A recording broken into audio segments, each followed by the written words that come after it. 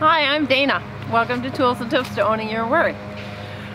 Letters you're never going to send and um, the medicinal quality of them. That's what we are going to talk about today.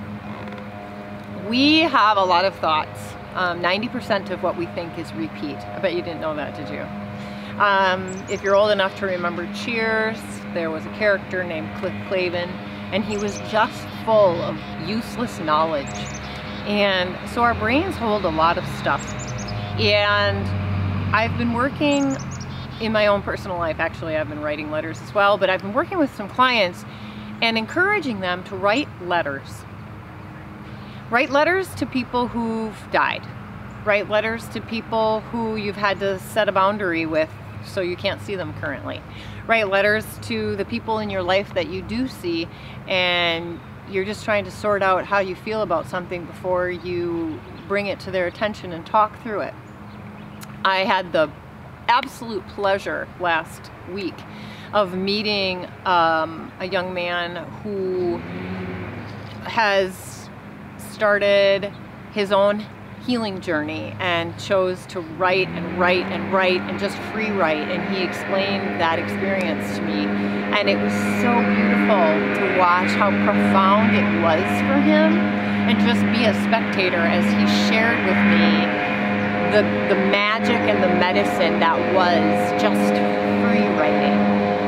And so I, I thought it would be really awesome to share with all of you the tool that is writing.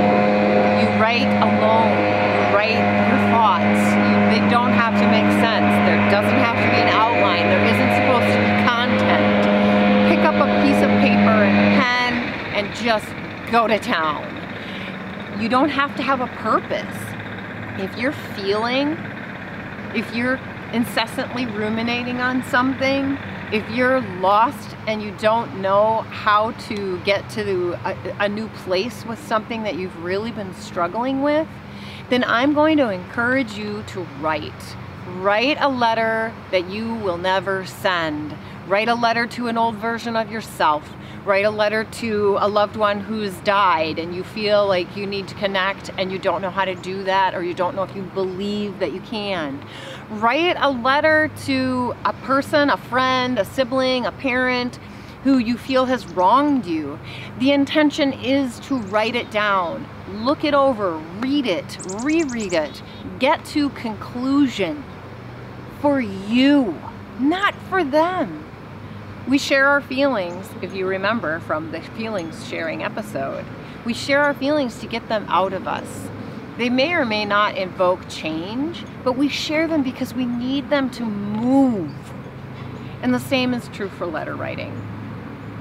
So I hope all of you, before the holiday season, can embark on some serious medicinal letter writing. I would love to have any comments or questions come through below in the comment section. If you're new to my channel, thank you for stopping by and welcome. I'm hoping that you like the episode, and if so, please consider subscribing.